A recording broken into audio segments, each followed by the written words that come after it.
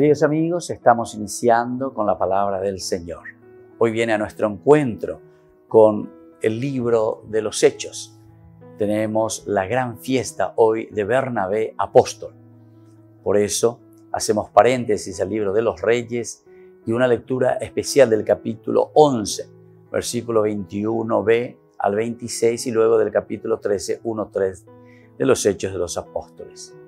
Bernabé era un hombre lleno del Espíritu. En aquellos días un gran número creyó y se convirtió al Señor. La noticia llegó a oídos de la iglesia de Jerusalén, que envió a Bernabé a Antioquía. Al llegar y comprobar la gracia de Dios, se alegró. como era hombre bueno, lleno de fe y de Espíritu Santo, exhortó a todos a ser fieles al Señor de todo corazón.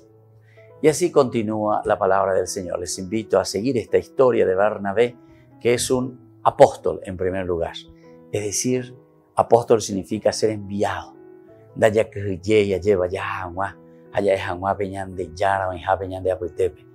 Anunciar la resurrección de Jesús. Nosotros estamos haciendo este camino ya después de haber resucitado con el Señor. Ahora ya estamos en la décima semana del tiempo ordinario que hemos retomado nuevamente. Estamos haciendo este camino de salvación, este camino de gracia que el Señor nos regala. A operar el mí, entonces la ya mía, ya mí, mirando el ejemplo de Bernabé, de ponernos también en este camino, de ser también discípulos del Señor. Pero también hay una característica muy interesante que nos presenta hoy la palabra del Señor.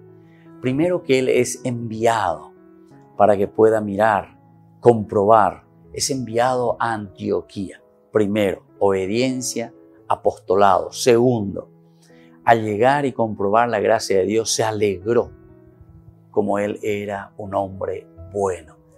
Qué lindo, queridos amigos. Apóstoles buenos, porque alguna vez ve a mí la la joa haya lleva. Joa con allá y yargelva, como para para de gente. Me parece que este es un momento ideal para que podamos entender que el ser apóstol y ser enviados por el Señor significa también dentro de nosotros esa paz interior para que podamos transmitir a los demás.